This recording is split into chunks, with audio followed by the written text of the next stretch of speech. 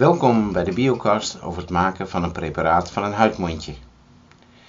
Eerst doe je natuurlijk weer een druppel water op je objectglas.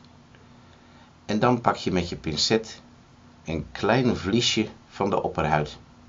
Het is al gauw groot genoeg zoals je hier ziet. Die doe je in de druppel water.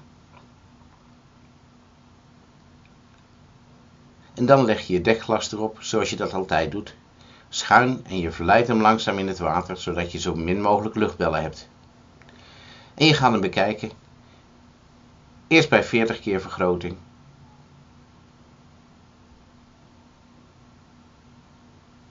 Tien keer 4 dus.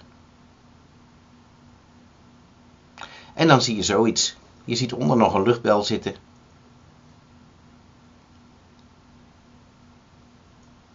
Als je je preparaat in het midden hebt zitten, ga je naar de volgende vergroting toe. Weer zet je het preparaat in het midden en stel je scherp.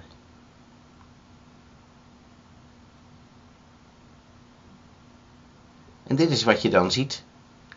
Probeer die luchtbel niet in het midden te krijgen.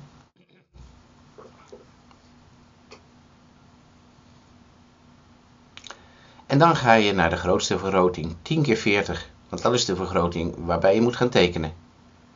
Weer voorzichtig scherp stellen. En dan zie je dit. Uh, links onderin zie je een huidmondje zitten. En dan moet je de volgende dingen in je tekening aangeven. De sluitcel, de bladgroenkorrels en de opperhuidcel ernaast.